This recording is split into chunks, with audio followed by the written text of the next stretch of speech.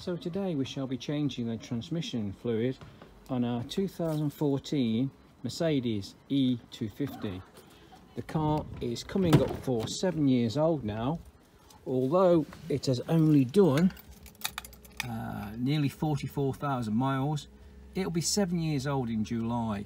So they say on the 722.9 gearbox, we should be ch changing the transmission fluid. So let's go and see what we need. So behind us we have everything that we need to change the fluid on our 7G Tronic Plus gearbox, 2014 model. We've got the ATF, the gaskets, the filters and all the screws and bolts. Right from the top then, we've got 10 litres of Mercedes ATF 134, which is the 236.15 spec transmission fluid for our 7G Tronic Plus gearbox. We, you, you can buy uh, some kits with 6 litres, but that's not enough fluid if you drain the torque converter. You need apparently about 9 litres, so we bought 10 to do the job properly because we are going to drain the torque converter. On top of that, we have a new sump gasket, a new filter, and the bolt kit with the magnets and stretch bolts. All these Mercedes uh, official parts bought from uh, Mercedes Newcastle. We paid 63.83 for all the parts kit, and we paid £80 for 10 litres of fluid. Then you'll need something like this, which is the iCarSoft V2. This measures the transmission oil temperature, which needs to be 45 degrees to get an accurate measure of the amount you, uh, you need in the sump. Uh, you can use an infrared thermometer, but uh, this is the much better apparently. Then we have an adapter that fits into the sump. So you can then attach a hose to pump the fluid in from the bottom. We bought a cheap tap as well for a couple of quid, again off eBay. And some hose, which we bought from B&Q actually. Then we have a submersible pump, 12 volt submersible pump with a switch on. Connects to an old battery you have knocking about. This then fits onto the hose and will pump the transmission fluid directly from underneath. According to the spec, the transmission fluid should be changed every five years or 77,500 miles. Our vehicle's only done 44,000 miles, but it is six and a half years old, so it does need the change. Then you need a low range torque wrench as the quarter drive goes down to 4 newton meters. You need that for these stretch bolts. They need to be tightened to 4 newton meters for a start and then rotated 180 degrees to get the right um, tension on the sump. Standpipe is the green standpipe, some of the older ones are white, this one's a green one, we've got two strong magnets. Funnily enough, uh, when we took the sump apart this morning, there was only one magnet in the sump. Uh, this is the sump that we take, took off this morning, took it off, cleaned it up, it's spotless again inside, but it was really dirty initially, so it was due a change.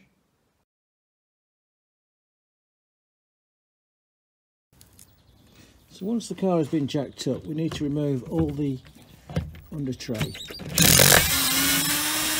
bolts, like so.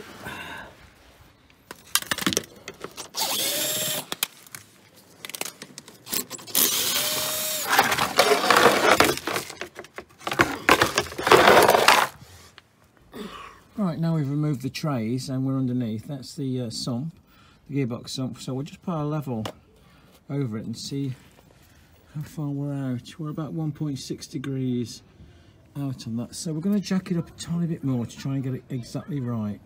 So we finally got it uh, jacked up to be roughly level. I'm just going to check underneath now to see how level it is.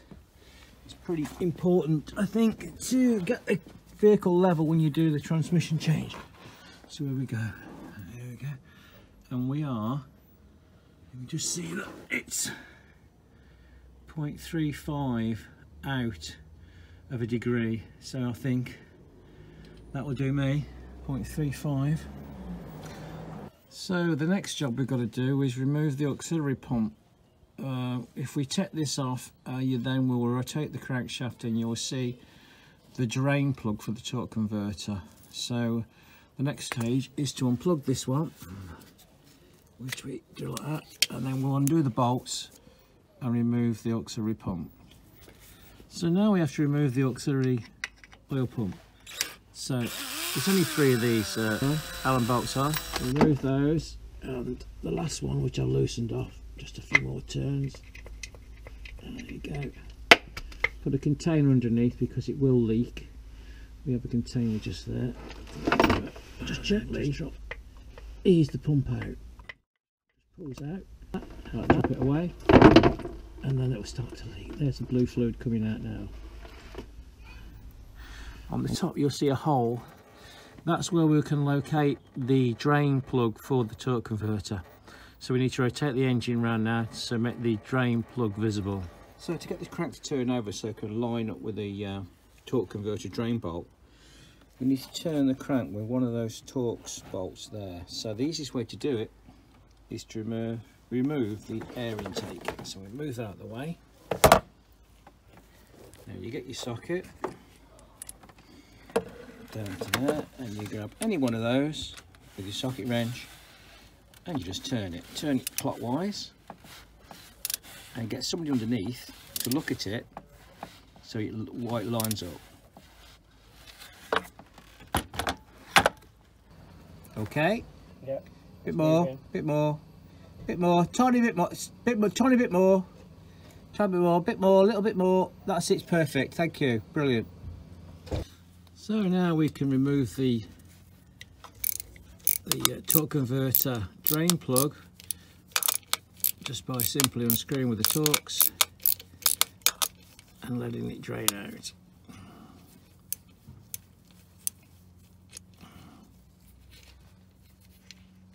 There we go.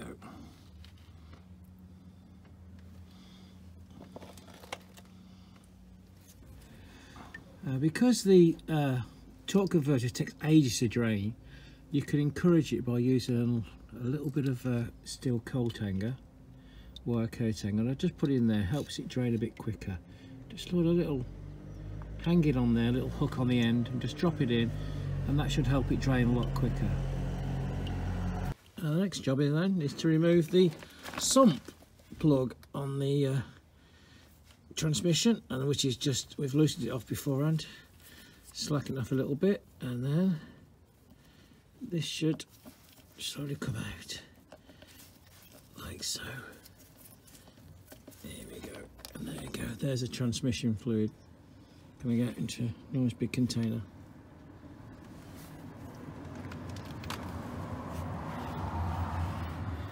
Actual fact the colour don't look too bad. But um, there it goes. So the next bit then once it's stopped dribbling is to dislodge the overflow. So you put a screwdriver in and just knock it to one side gently and there you go. And then the fluid will just pour out. It says there we go. The, then the fluid will continue to empty completely. Now we can undo the sump pan.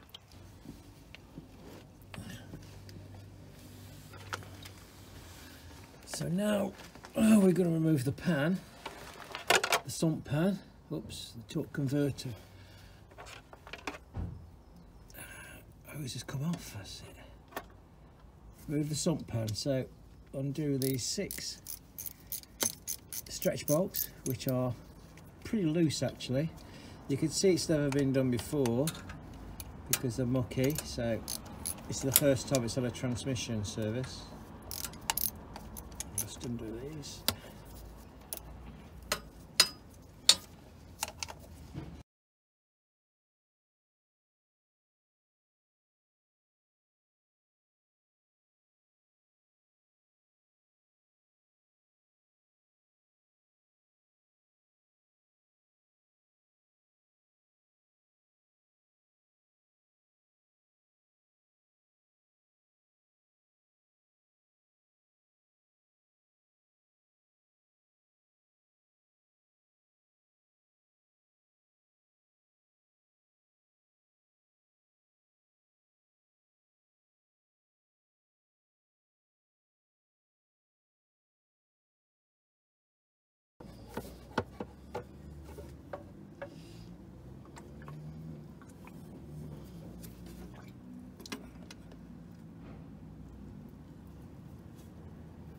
So that's the pan removed.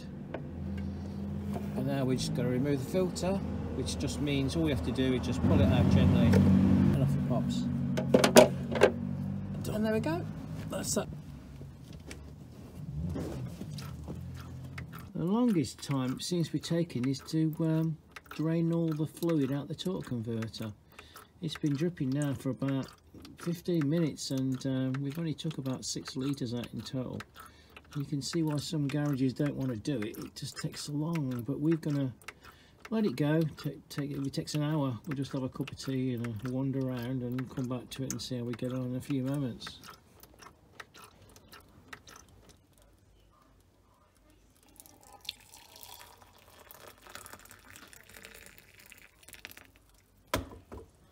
Now I've got the pan and filter out, you can see actually is, the fluid is absolutely filthy. Uh, and we seem to have lost a magnet. I thought you had two magnets in the sump. We've only seemed to have one. And look at the sludge on that. That's a lot of magnetic sludge to be stuck on there. It's horrible. So I think it's probably due, won't it? It's horrible thick. I'm quite surprised. I thought the oil when it came out looked all right, but it is black as you're at. And it's only done 44,000 miles. So was well, well due. I'll just show that magnet again to show the extent of the muck and everything on it. It just completely sludged up. I just took it off then. Look at the mess on that. That is absolutely awful. It is black. But I can only find the one magnet, so I thought they should have had two.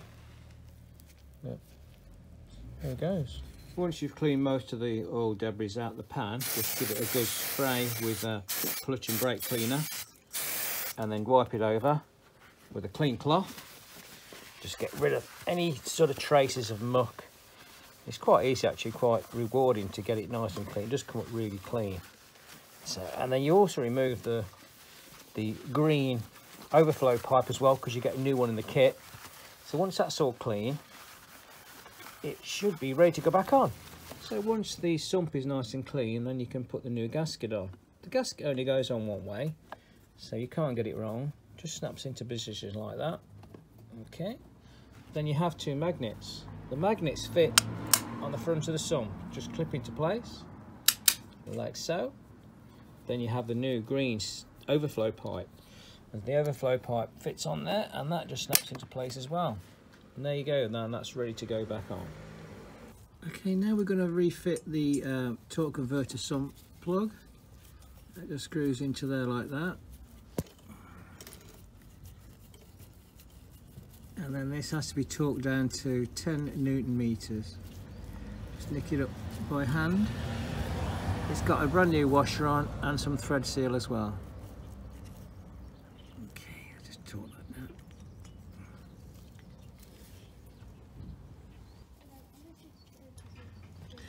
Once we've cleaned all the surfaces down by the auxiliary pump, put three bolts back in and they need to be torqued down to 8 newton meters. So that's one.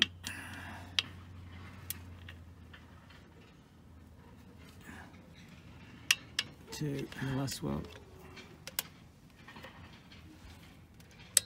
Three. That's done. Also, not forgetting to plug the uh, auxiliary pump connection back in again. There we go. That's back in. Now we just need to snap in the new filter, like so. It snaps in.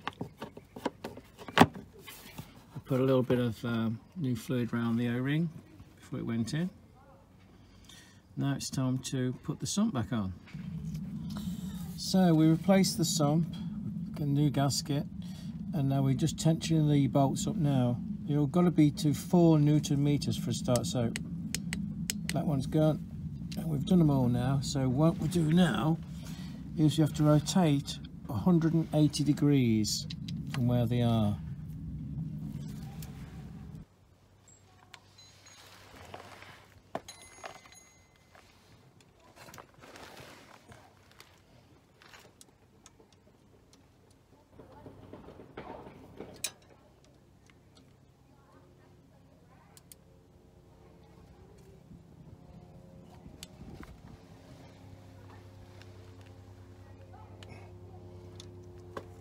And that's it. That's tightened up. So now we refit the exhaust bracket back up.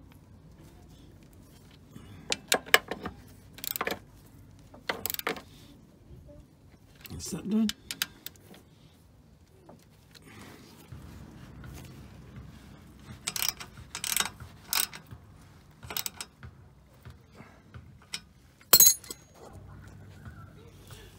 And refit the heat shield.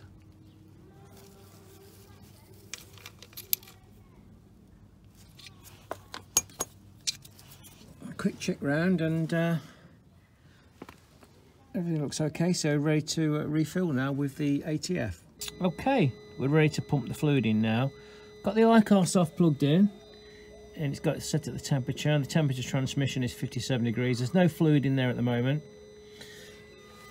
We have the adapter plugged into the bottom of the sump and we've got a short hose with a tap which runs into a submersible pump which is now in the 5 litre container. This is powered by a 12 volt battery and a switch. So we'll turn the tap on and begin to fill.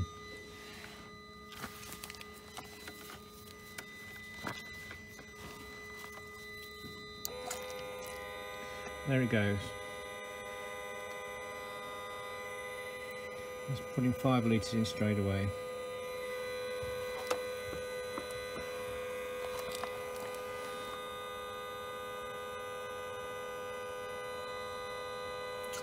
Shouldn't take very long to put five litres in.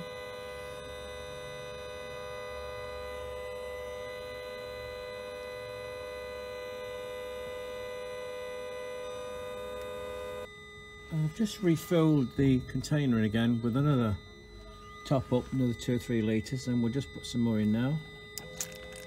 There we go, that's away again. So we've put in about four litres at the moment.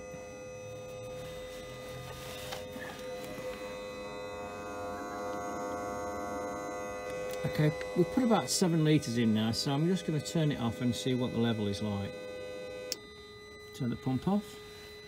We'll just pull this down and see. Okay, so we've gone over the overflow now, so now it's time to start the engine. So back in the car, we're going to start it up and run through the gears a few times. So here we go.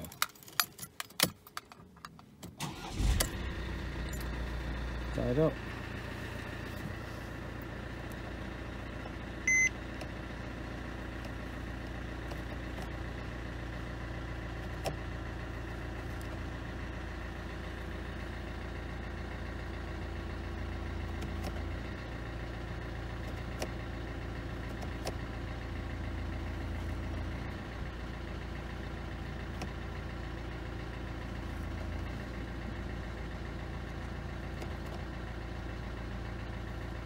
Back into park.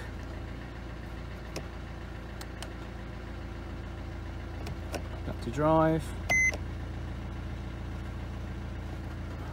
Reverse. Back into park. There we go.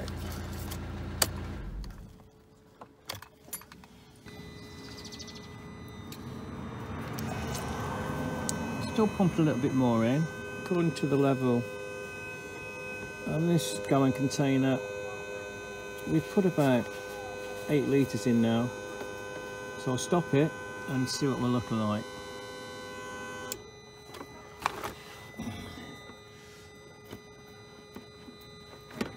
Okay I think that's sufficient now. So now we're going to start the engine and run it up while we're waiting for the temperature to rise to 45 degrees, I'm just going to through, run through the gears again. Everything nice and smooth.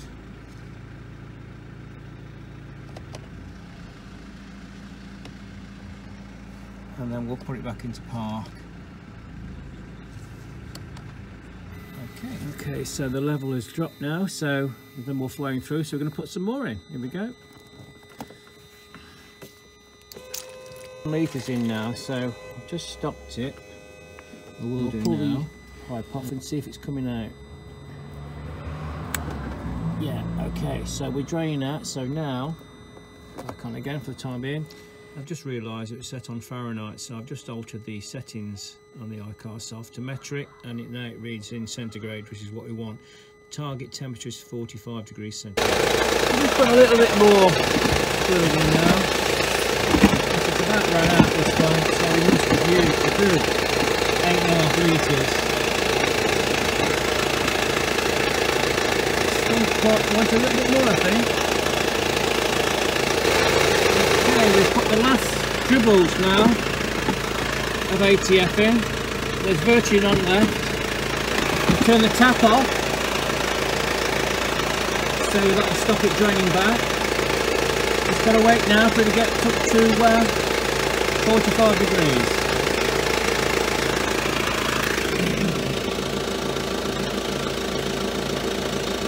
Just having a general look round now, we don't seem to have any leaks or anything. It's going back together very easily.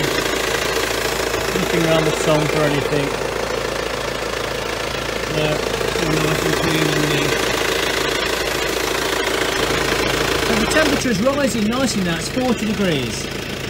So a few more degrees, We'll take the pipe off and we'll check the level.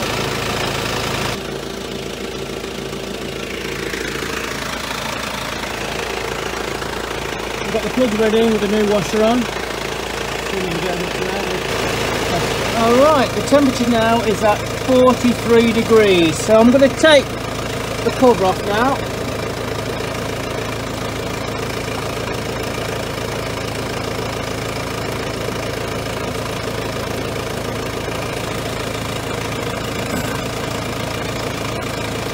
Forty-three degrees.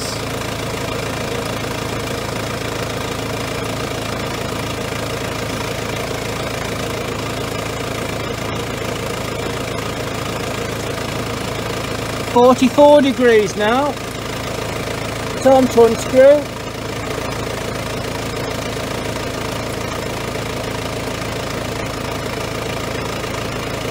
In there. Is still 44 degrees.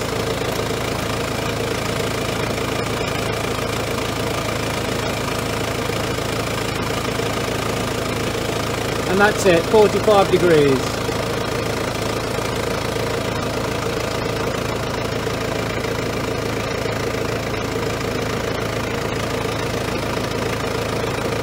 Tighten up in a second. So we're done. We turned the car off at about 45 degrees when it started dribbling. All we have to do now is tighten the sump plug up, torque it up to 22 newton meters, and that's it, job done. Okay then, it's all finished, so now we're going to take it for a quick test drive, see how we get on.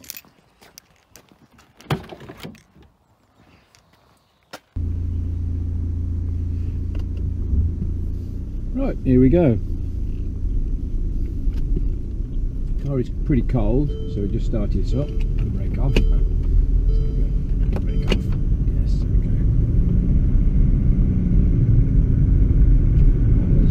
That was very smooth for a cold start. Just take it around the road a little bit and see what happens.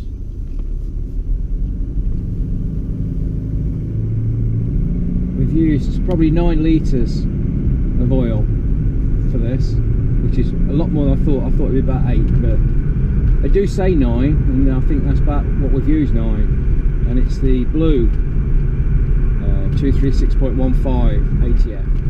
It's uh, 7229 uh, gearbox, the 7G Tronic version.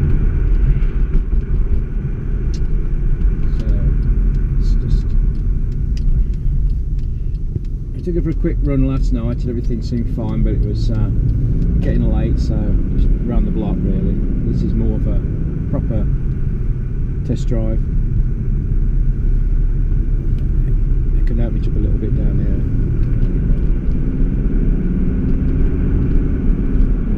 Couldn't even feel it change gear there.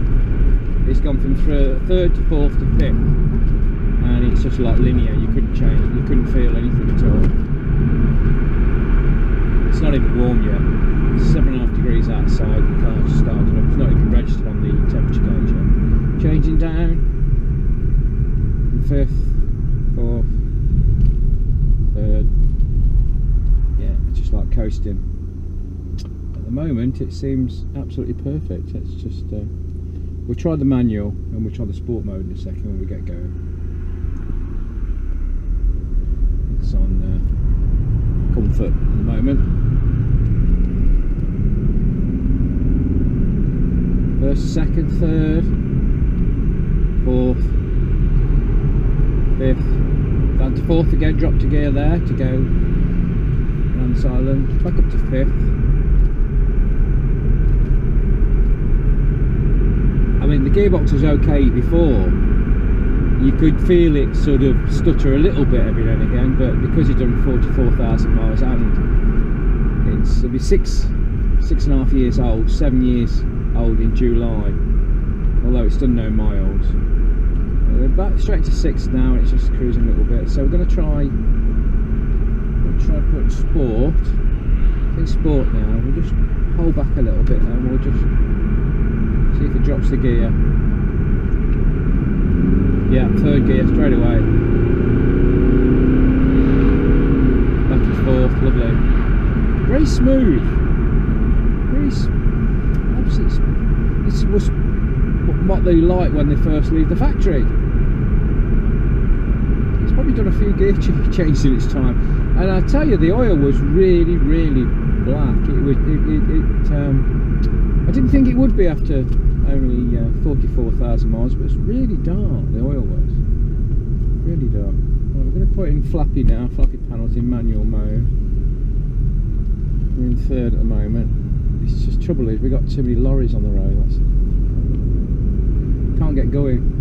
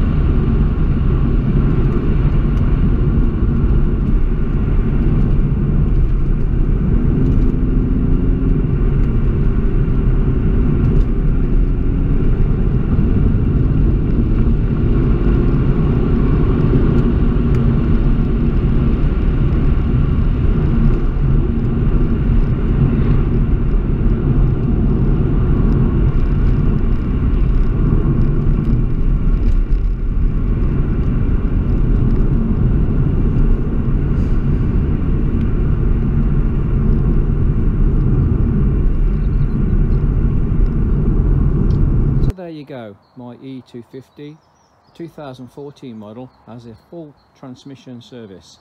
Uh, parts cost me about 155 pounds. I only use the genuine Mercedes parts for everything and I'm very pleased with the outcome.